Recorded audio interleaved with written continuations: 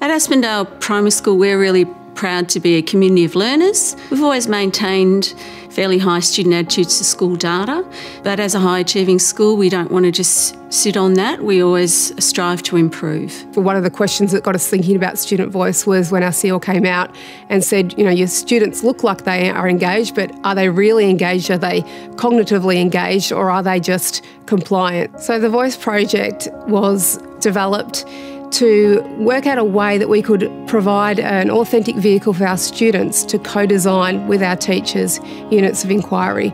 In the early stages of the project, we conducted ethnography, even with our year one students right up to year six. Our feedback from our students and our teachers as well that our units of inquiry are currently quite teacher directed. We had teachers that said, oh, this unit of inquiry didn't work well in previous years. Let's get someone else's input and what a better what better person than the students to get their input to say this is what works for us and this is how we like to learn and this is what we're interested in learning. So the voice meetings in year one, we try and make it so that it's a bit of a theatrical event. We, I think if small children think it's a big thing, they really see the importance of it and are more willing to give more of themselves.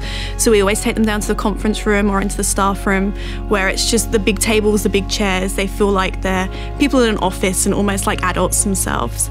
And then we pose a question. Normally we start with something quite generally that the children are familiar with. So we talk about the ways they like to learn. Um, and we always get them to turn and talk to the person next to them. Teachers will listen in on that and kind of pick up ideas because sometimes with younger students, by the time they get to sharing, they forget what it is they've said and discussed. So it's good for the have an adult just listening in so that they can prompt when we're then discussing. So all the kids go into the conference room and some of the um, teachers go in and then we say how we want to learn and then they write it down on a big piece of paper. And we always have a second adult who's scribing, and it's really important that the kids see that every idea is written down. And we say quite openly, you know, we're going to write down all your ideas, we're going to put your name next to it so we can remember who it is.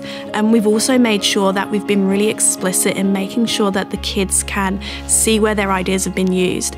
So in our lessons, if we use a student idea, we'll put their photo and we'll put their idea in a thought bubble onto our flip chart so the kids can see, and as a whole cohort, they can see, oh yeah, that, that person's idea, they want wanted to learn about materials, and the teachers are actually listening to them.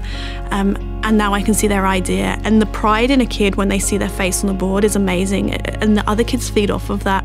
When I was talking to the teacher, it kind of felt like I was the teacher, and I could like you could say whatever you want to do. We can learn about whatever we want to learn. It makes me feel like happy and something I actually want to learn about, like not some stuff I don't want to learn about and I already know about it. This project has really enabled our teachers and students uh, an authentic opportunity to collaborate together um, and really enhance student agency across the school, but I guess most of all empower our students for the future.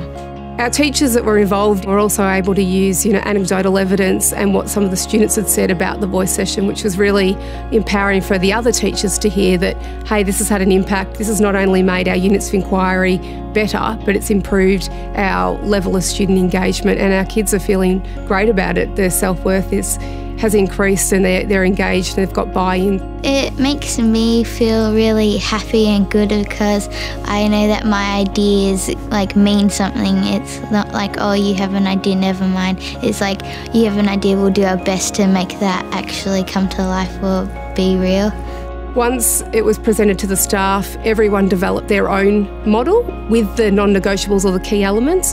But it, there was we allowed for variation. And I think that was really important, allowing teams or that teacher voice or that teacher agency to say, you can make this look to suit your cohort. It doesn't have to look identical across each level. Um, but these are the key elements that we've found from trialling it that really work and that we encourage you to embed these as part of your voice sessions because you'll get deeper responses from your students made me feel nice to know that I was getting heard and having an input in what I'm doing. Because usually, before voice committees were a thing, I had no say in what I was doing. I mean, I still loved the work, but just feels really nice now to know that I had an input in it and this is what I wanted to do. So, our next steps include making sure we're embedding across all of the year levels. We'll constantly use our non negotiables document as a working document to add or edit and change things to define how the voice looks. It's changed a lot from how how it first started to how it is now, and I can see it will continue to evolve as we continue to trial it um, and pick up more ideas from other students and other teachers across the whole school.